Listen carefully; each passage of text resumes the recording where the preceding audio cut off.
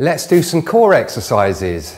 You've heard me many times talking about the importance of a core, so I'm going to give you three exercises that you can do sitting in your chair. The first one is diaphragmatic breathing or belly breaths. So what you want to do is just relax into the chair and put your hand on your tummy. And we're going to breathe a bit differently here. We're going to breathe in through our nose, blowing the tummy out, and we're going to breathe out through our mouth, squeezing the tummy in. So just put your hand on your tummy so you can see it working. Let's breathe in through the nose. And then out through the mouth, squeezing the tummy in. Good. So breathe in through your nose, blowing the tummy out. And then out through your mouth, squeezing the tummy in. And just keep doing that. And let's keep doing that for a minute. Now, the advantage to this is it's so good for reducing stress levels. It reduces the stress hormone in your body and it also relaxes the body. So if sometimes you can't sleep, this is a perfect one to try and it's a nice gentle introduction into your core muscles. So we're 30 seconds in. Let's do this for another 30 seconds. In through the nose, blowing the tummy out and then out through the mouth, squeezing the tummy in. Let's keep doing it. Let's do a few more. Two more. One more time.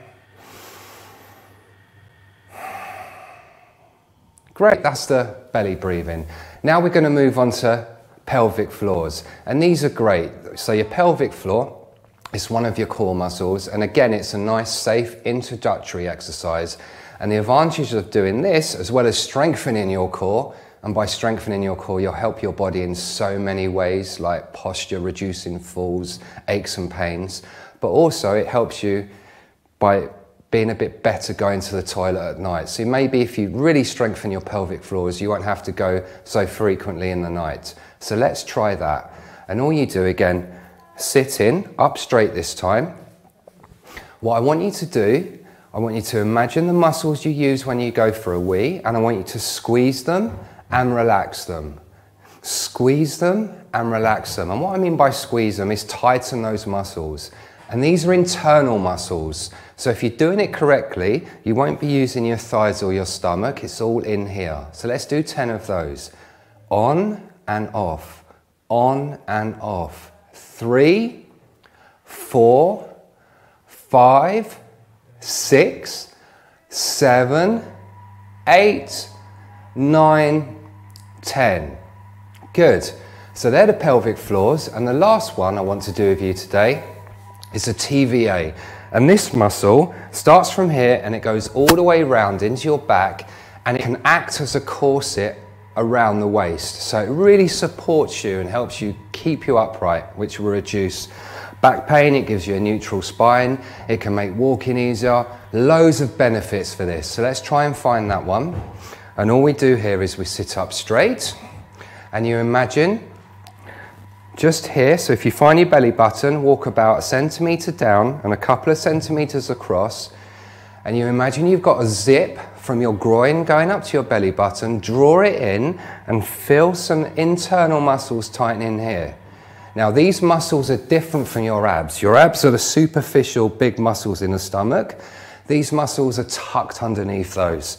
So it might help to put a finger into your tummy, and what you do, you draw in a breath, feel something's activated, and hold it there.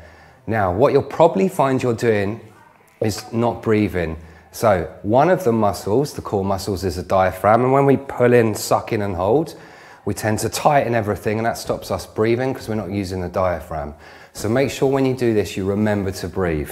So let's draw up from the groin to the belly button, pull those internal muscles in, use your fingers just to feel if you can feel something tightening, if you can feel that muscle activating. And let's hold that for 10, 9, 8, 7, 6, 5, 4, 3, 2, 1.